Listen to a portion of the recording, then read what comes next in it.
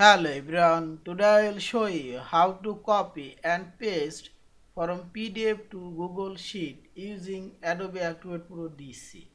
Open your PDF file and select this tools option.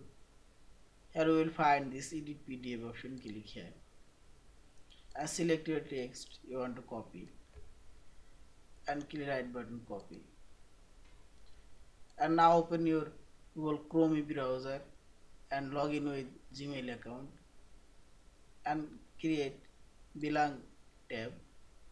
Here we will find this Google Apps. Click here and scroll down.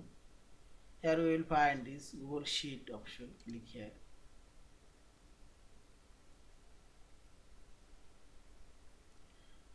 And click here. You can open your existing Google Sheet from Drive or computers or you can upload also you can create new google sheet click here this plus icon. Yeah this is. And select here. And press ctrl v from your keyboard. This text already pasted here. Yeah. Now I'll copy this image now. Select and click right button. Copy. Go to Google sheet. And now paste this image is already pasted here.